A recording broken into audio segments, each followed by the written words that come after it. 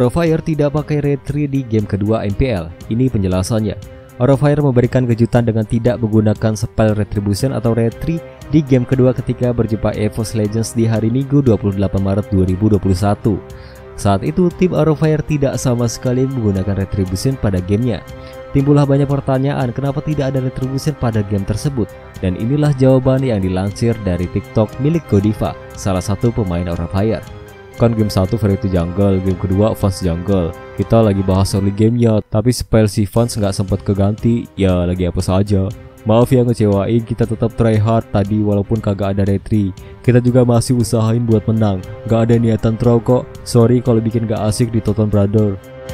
Dari video yang diupload oleh Godiva memang tidak sempat menggunakan spell setelah pergantian jungler, di mana pada game 1 Fairy yang bertugas sebagai jungler, sedangkan untuk game kedua Vance yang jadi jungler.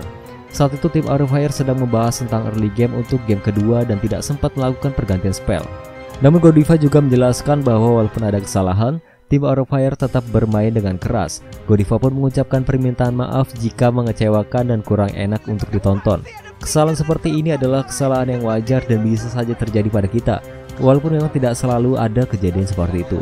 Namun untuk para pemain juga tentu berusaha untuk menang dan tidak ada tim yang ingin sengaja mengalah dalam sebuah turnamen. Terima kasih telah menonton video ini. Kami segenap kurir petugas pamit undur diri dan sampai ketemu di video selanjutnya. Bye bye.